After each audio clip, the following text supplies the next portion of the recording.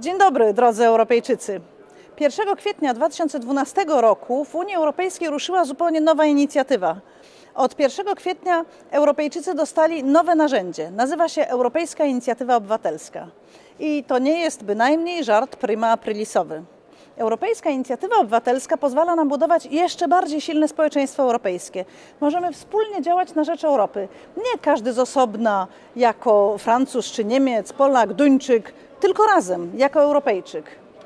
Od teraz możecie włączyć się w podejmowanie decyzji w Unii Europejskiej. Zbierając 1 milion podpisów w przynajmniej siedmiu krajach członkowskich, możecie przekazać Komisji Europejskiej, co chcielibyście zmienić. Zebranie miliona podpisów w całej Europie nie jest już tak nierealne, jak było na przykład 20 lat temu.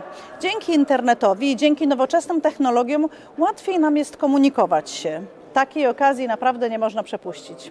Europejska Inicjatywa Obywatelska jest dodatkowym, ele dodatkowym elementem łączącym Polaka, Węgra czy Cypryjczyka i instytucje europejskie.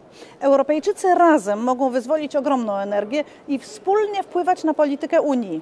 Od 1 kwietnia 2012 roku decyzja leży w Waszych rękach.